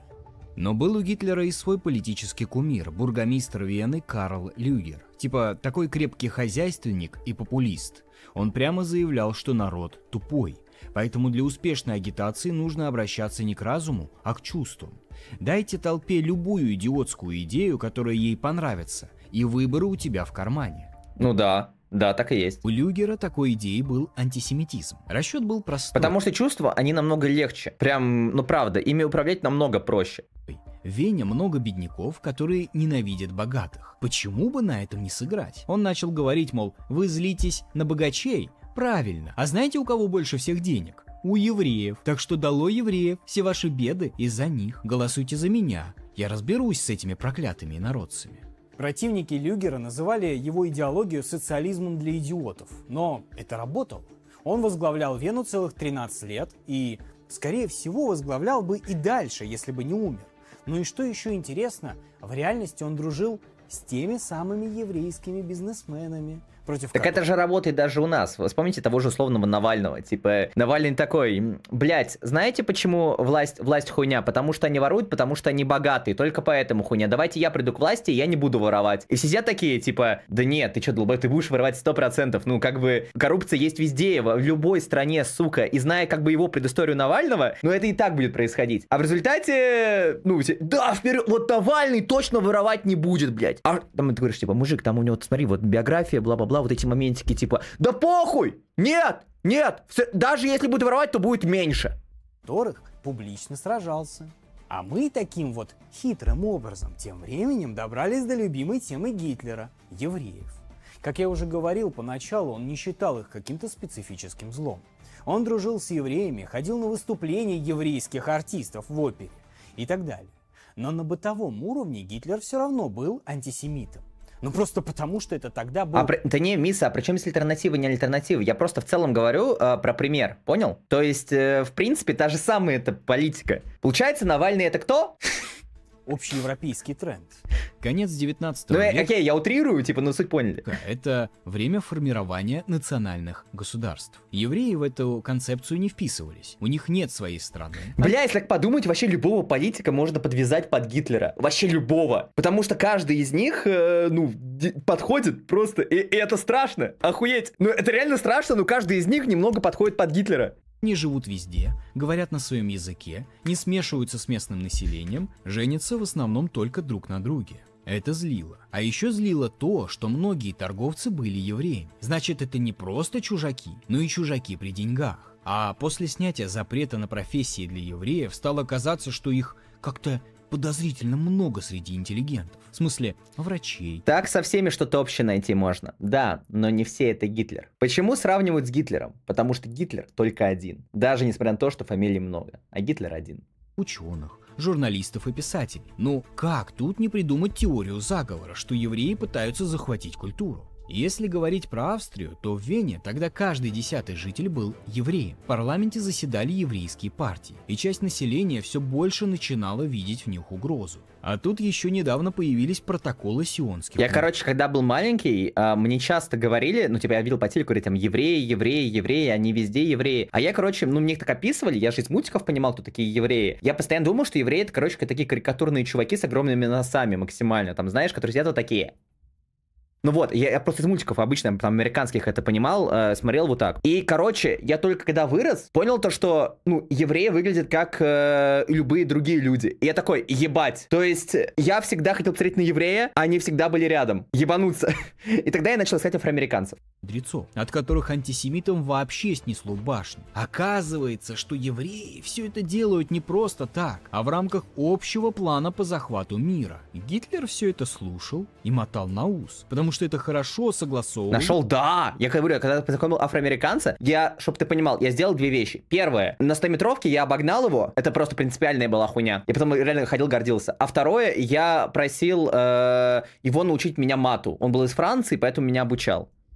С его инфопузырем про дегенеративное искусство, про высшие и низшие расы и прочее. Неудивительно, что он быстро дошел до идеи, что евреев нужно куда-то убрать из Европы. Например, переселить на Мадагаскар, как предлагал один из его любимых журналов. А я не помню в том-то и прикол, мужик. То есть я помню, что он меня на целой но, лекции обучал мату французскому, но я ничего не помню. Ну нет, типа я сейчас почитаю там французские маты, я вспомню, конечно, а так сходу нет. 11 ноября 1918 года. Позевальск, Померания. Тыловой госпиталь немецкой армии. Ефрейтор Гитлер тут уже почти месяц. В сражении во Фландрии его полк обстреляли снарядами с горчичным газом. Эта дрянь выжигает слизистые. После атаки Гитлер потерял зрение, но ему снова повезло. Он ослеп только на время, в отличие от десятков тысяч других солдат. Правда, зрение до конца не восстановилось, и Гитлер боялся, что уже никогда больше не сможет рисовать. И вот наступило 11 ноября 1918 года. Утро. Всех раненых собирают в одном месте и объявляют им три новости. Во-первых, война закончилась. Во-вторых, Германия ее проиграла. И в-третьих, кайзер Вильгельм II отрекся от престола и уехал. Империи, за которую они сражались, больше нет. Привычный мир трещал и разваливался на глазах. Гитлер не выдержал. Он убежал с собрания, забежал в палату, упал на койку и заплакал. Плакса. Плакса. Но когда началась война, Гитлер одним из первых записался добровольцем. Поплачь, вот прям бледота. 1 августа 1914 года Германия вступила в Бля, прикинь, если как бы сюжет нахуй вообще вот получается прошлого века вот так вниз пошел бы, если бы кто-то подошел в этот момент к нему и сказал поплачь бледота. Он же бы вообще тильтанул бы нахуй, вы- ну вы поняли. Первую мировую. Осуждаю, А конечно, такой, но с Гитлером как будто, ну, как будто не так жалко, что ли. Через два дня Гитлер стоял на призывном пункте. Причем, как вы уже, наверное, поняли, Нытик, ты нытик тоже. Блядь, нихуя! Я, не- не плачу в подушку.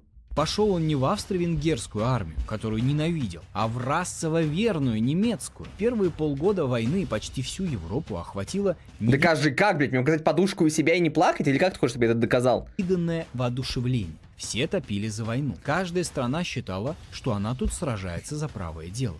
Против войны выступали единицы из самых радикальных леваков. Когда французский коммунист Жан Жарес заикнулся, что война Жарес. вообще-то простым людям не нужна, его просто застрелили. Оу, радикально, радикально. У нас только в Твиттере отменяют, когда такое говорят. В Германии все политические партии, включая обычно мирных социал-демократов, договорились отказаться от политической борьбы во имя победы на фронте. И, конечно, все считали, что победа вот прям вот чуть ли не завтра будет. Максимум к Рождеству все закончится. Например, Ебать, вот-вот-вот. Вот это, вот это Германия, видите? Они делали дома из бревен, бревен. В тот момент, понимаете, ребята, весь мир, сука, строил кирпичные дома. И вы хотите вот в эту Европу? в Германии был план, который предусматривал молниеносный разгром Франции буквально за пару месяцев. Так что в 17-м баварском полку, куда попал Гитлер, многие думали, что не успеют поучаствовать в настоящей битве. Ну, в общем, они ошибались. Полк послали на фронт в конце октября 14 года, а их первым боем стало кровопролитное сражение во Фландрии. За первые четыре дня картофельных полях Блять, подожди, то есть немцы реально ходили в таких шлемах с огромной, э, с огромным чубчиком на голове? Они что, тупые? Просто представьте ситуацию. Чел сидит в окопе. Ты чё вообще? Они, блять, просто, ну, я, я, как нахуй? остались трупы 349 солдат. То есть погиб... Ну, подожди, видишь, они реально в этом ходили. У нас у них реально был этот чубчик на голове. Зачем? Чтобы можно было им проткнуть? Так их также из окопа видно. погиб каждый десятый. А всего там меньше, чем за месяц, полегло пол- Во, вот тут поменяли, тут молодцы. полторы сотни тысяч немцев и 100 тысяч Вот тут молодцы, тут хорошие шлемы. солдат Антанты. А главное, результата Вот тут да, ебать, попкопы. было ноль. Германское наступление провалилось, и следующие четыре года линия фронта на этом участке практически не Это чтобы своих определять? А они что, не могут понять, что свои в тебя, в тебя не стреляют? Если ты стрельнул в меня, значит ты не свой, блядь. Лови гранату, фашист.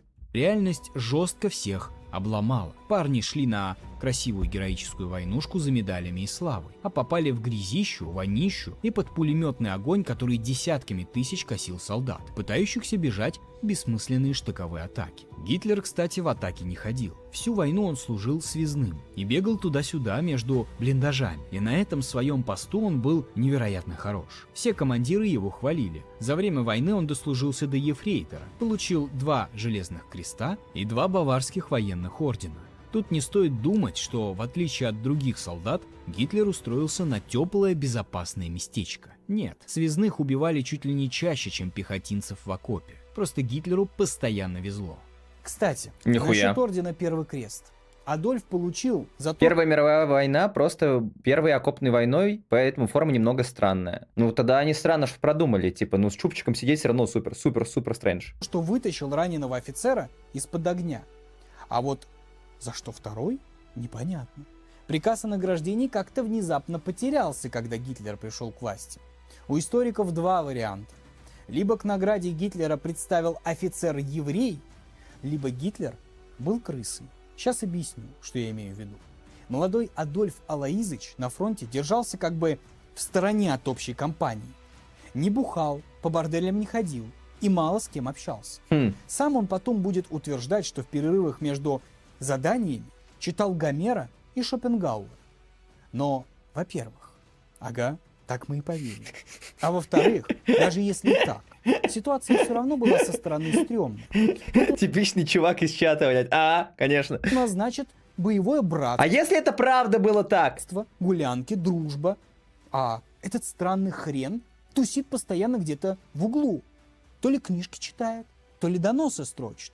В целом, такое поведение вполне укладывалось в характер Гитлера. Но у некоторых историков есть предположение, что его характер Я не крыса. офицеры могли использовать в своих целях, и что на фронте Гитлер внезапно выполнял функции стукача контрразведчика, внимательно слушал, о чем там переговариваются его однополчане, и передавали крамолу куда надо. Я не вот типа крыса. за успехи на этом поле ему и дали второй железный крест. Но на войне с Гитлером случилось еще одно преображение, чисто внешнее. Именно тут он начал носить свои знаменитые стрёмные усы. До войны усы у него тоже А это были разве не из-за ранения? но такие, пышные, почти гусарские. Но оказалось, что на фронте с ними очень неудобно. Во-первых, в сырых окопах это прям сборщик для грязи и вшей. Во-вторых, они мешают надевать противогаз. Поэтому Гитлер оставил только узкую щеточку под А, вот так Вообще, было. он один до Я думал, такого там ранение. о, додумался. Такие усики были популярны и до войны. Можно вспомнить хоть того же Чарли Чаплина. А в Советском Союзе точно такие же носил один из руководителей НКВД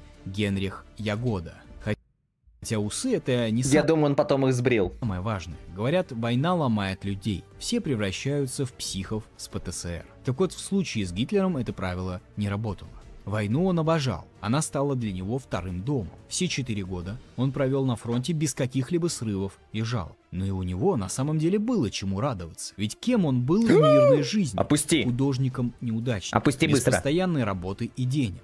А тут его хвалят офицеры. Он выполняет важную миссию по спасению любимой Германии. А еще здесь он стоит на одном уровне со всеми этими детьми бизнесменов и мелких дворян, Ну, он прям в этом плане кайфовал, наверное. которые на улице на него и не взглянули бы. Но сейчас вот они сидят вместе с ним в окопе.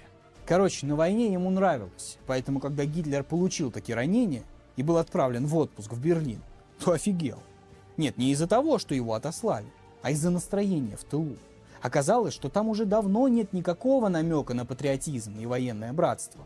Оказалось, что жители Берлина, нет, не пьют лавандовый раф в кофейнях, но все больше говорят о ненужности войны.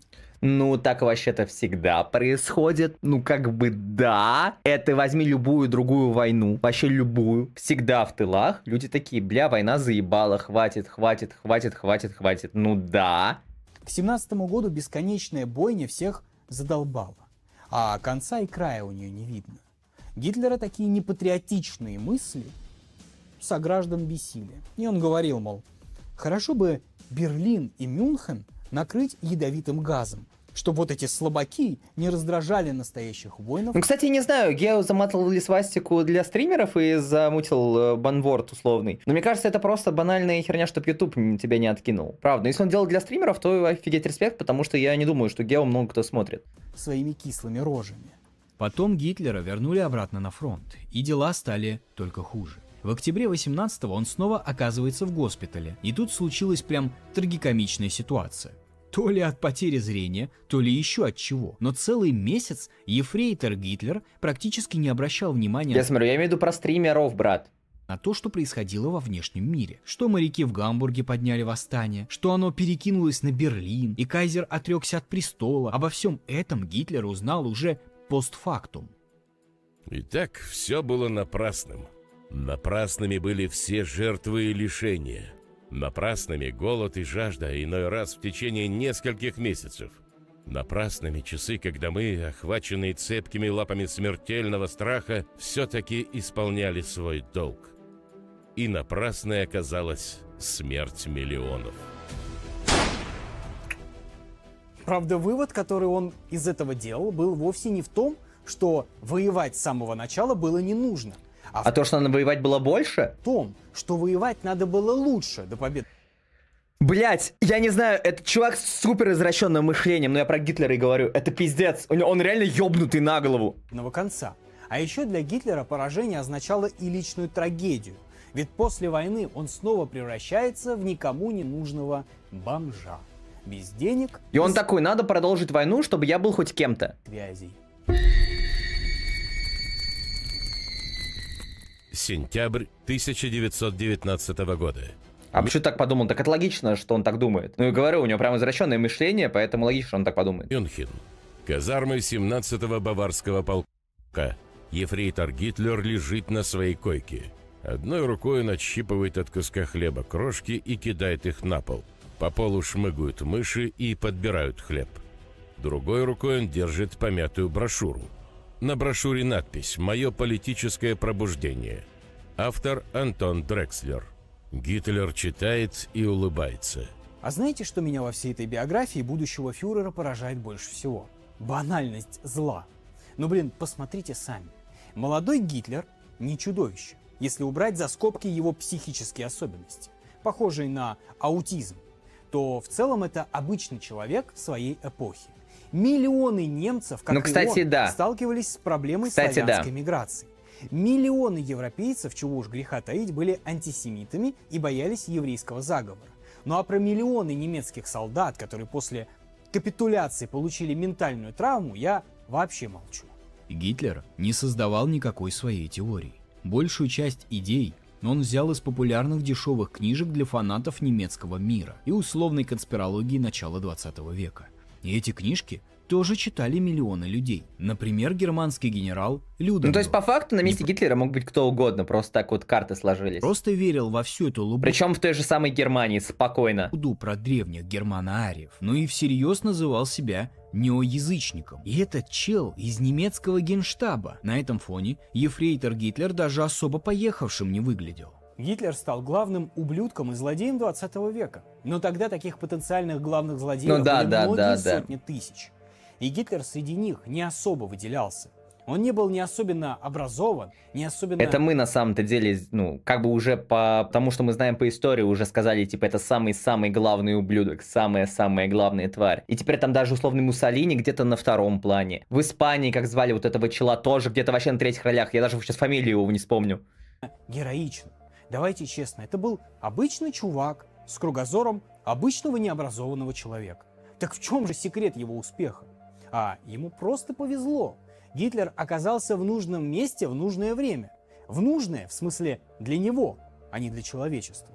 Итак, 1919 год. Война кончилась, и Гитлер вообще не знал, что делать. Гражданской специальности у него не было от слова совсем. А снова возвращаться в ночлежку к бомжам ему не хотелось. Поэтому от растерянности он просто отправился в Мюнхен, в расположении своей части. Повторю, Тут Гитлер был уже гражданским человеком, но все равно поехал жить в казарму. Это как если бы сейчас солдат-срочник после дембеля решил остаться в части. Потому что тут все привычно, есть своя постель, еще и кормят бесплатно. Мгм. Находились казармы Гитлера в Мюнхене, где в тот момент власть была у коммунистов и провозгласили Баварскую Советскую Кстати, интересно, такой офф-топ, а за кого тогда болели? Ну, про футбольчики я говорю. Республику.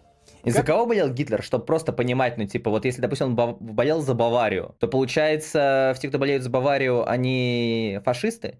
Вы думаете, что делает Гитлер?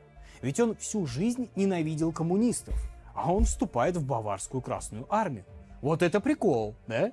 Правда, это не значит, что Гитлер внезапно переобулся. Коммунистов он по-прежнему считал отвратительными людьми. Но кушать что-то надо, а в армии кормили. Ни в каких боях за красных будущий фюрер не участвовал, а просто косил траву в расположении части. До тех пор, пока в Мюнхен не вошли правительственные войска и не прикрыли всю эту Баварскую республику к чертовой бабушке. Пришедшие в Баварию солдаты состояли в основном из отбитых националистов, так что Гитлер быстро нашел с ними общий язык. Ну то есть, сначала его все равно посадили в фильтрационный лагерь. Бля, я только сейчас понял то, что, короче, Гитлер, ну, чисто лицом, вот бро- бровями похож на мою бабушку. Немного. как Ну, типа, это такая частая штука, вот именно вот, вот, вот это, глаза. бывшего красноармейца. Но очень быстро отпустили, потому что Гитлер радостно начал Немножко, стучать немножко прям глазами. в военный трибунал на всех своих бывших сослуживцев, которые верили в коммунизм по-настоящему. И делал он это успешно. В Да, 1000 блядь, там, скорее всего, ваши бабушки тоже похожи в этом плане на Гитлера. Любая часть тела, а, лица и так далее бывает похожа у разных людей. Ну, типа, это частая хуйня. 1919 году его снова приняли в армию, кем-то вроде младшего агента разведки. И вот тут началась жара. В разведывательном отделе был такой капитан Майер, и он разглядел в нашем ефрейторе большой талант пропагандиста. Чисто так случайно. Как-то в присутствии Майера Поэтому, нет, говорю, поэтому поосторожнее, приглядитесь к своей матери, возможно, она похожа на Гитлера. кто-то вступился за евреев, и Гитлера, что называется, просто прорвало.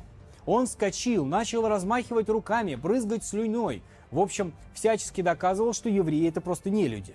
Гитлер и до этого часто участвовал в политических спорах и реально умел убеждать, при этом было неважно, что именно он несет, насколько там хорошие аргументы и нет ли логических ошибок.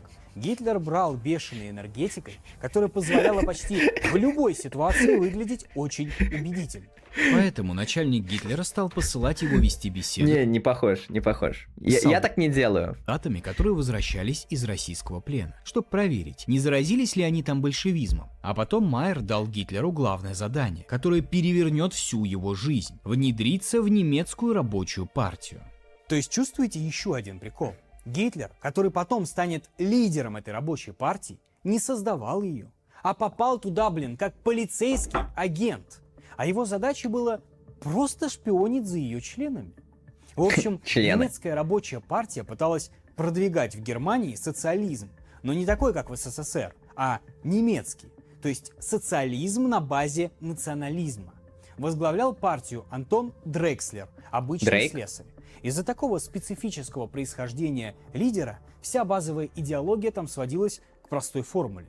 Рабочему нужна не классовая борьба, а хорошая работа, полная кастрюля и успехи Бля, детей. вы заметили, что как-то вот э, Вторая мировая война очень-очень ассоциативна со стримерами? Прям очень сильно. Есть и люди, которые не шарят в политике, но при этом убедительно говорят. Имена, фамилии, усы, допустим, как у Антона, и вспомните, как выглядел отец Гитлера. Ну, просто сравните их визуально.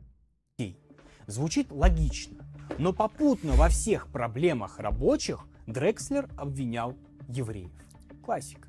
К моменту, когда на собрание партии первый раз пришел Гитлер, там состояло всего 40 человек. Гитлер пришел и тут же заскучал. У него было полное ощущение, что это очередной детский сад из рандомных балаболов. Он записал в блокноте. Организация опасности не представляет. И уже хотел уйти, как вдруг услышал, что очередной оратор высказался в духе, что Баварии надо выйти из состава Германии и присоединиться к Австрии. Такого Гитлер уже стерпеть не мог. Взял слово и задвинул длинную телегу на Так, стоп, я долбоеб. А у Баварии же прям э, супер мелкая граница с Австрией, разве нет? Так, подожди, вспоминаю. Так, вот я стою в Мажино, нападаю через правый фланг по Швейцарии. А, да, да, там нормальная граница.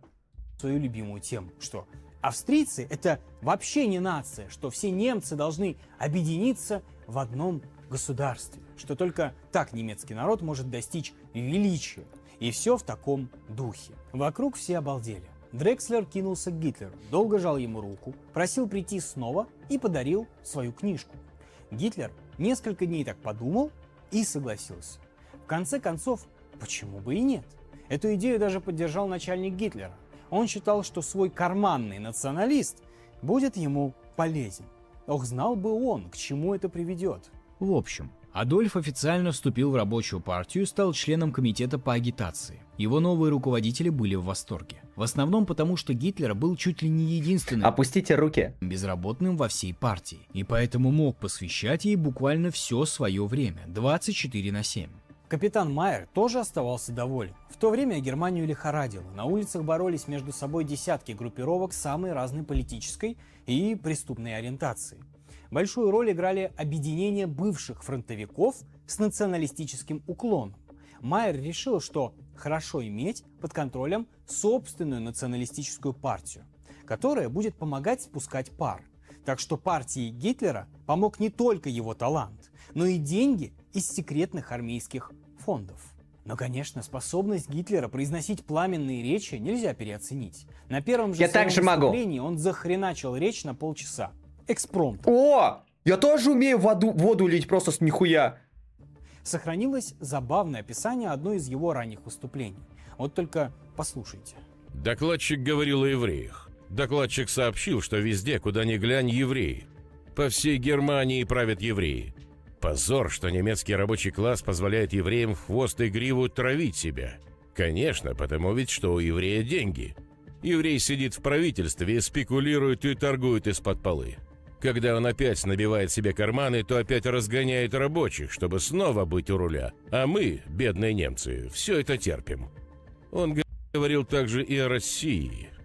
И Знаете что? Вот если бы я был бы в то время, и мне Гитлер бы такое сказал, знаете, как бы я его урыл? Ну и? И что ты мне скажешь, фюрер? И он бы такой, э-э-э. И тогда бы не было гибели миллионов людей, ребята. Тогда было бы все проще, и Милова был таким, какой я вижу его в этих очках охуенных. И кто это все устроил? Опять же еврей. Поэтому, немцы, будьте все заодно, боритесь с евреями. Потому что они у нас последнюю корку хлеба отнимут.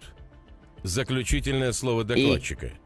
Мы будем бороться до тех пор, пока из германского рейха не будет убран последний еврей. Даже если для этого нужна будет революция. И- Оратору сильно аплодировали. Жаль, у этого описания не было другого финала. Типа, а потом докладчику набили еба и посадили по статье 282.